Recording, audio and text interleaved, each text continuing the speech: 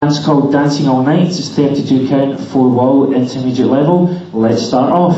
Weight starts off on your left foot, two walks forward with the right and then the left. You're going to do a triple step, almost in place, with your right, left, right, counts three and four, stepping slightly back on the right foot and four. So you step in right, left, right.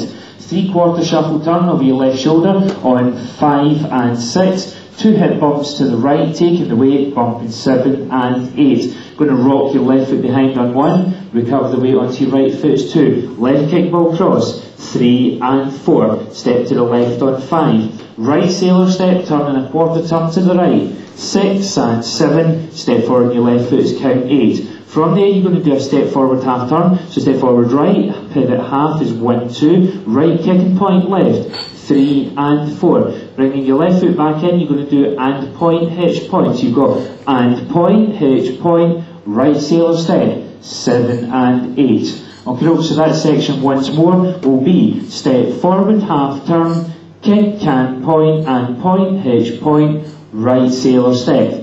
Last eight counts. Going to touch your left foot behind on one. Unwind the half turn over your left shoulder, keeping the weight on your right foot is two. Your left knee will be popped slightly forward. You're going to do a left coaster step. Three and four. Step forward and your right foot is five. Pivot half turn is six. And then a step quarter turn to finish. Forward seven, turn eight. So that's the end of the dance. It's called Dancing All Night. Let's try it one time through from the top. Seven, eight. Walk right left, triple right, left, right, three quarter shuffle, turn with a bump and bump, roll behind, drag, cover, kick, ball, cross, side, left, sail a quarter, turn, step forward, you're doing a step, half turn, kick, can, point and point, hitch, point, sailor step, touch behind, unwind, and the left coaster step, step forward, half turn, and step quarter turn.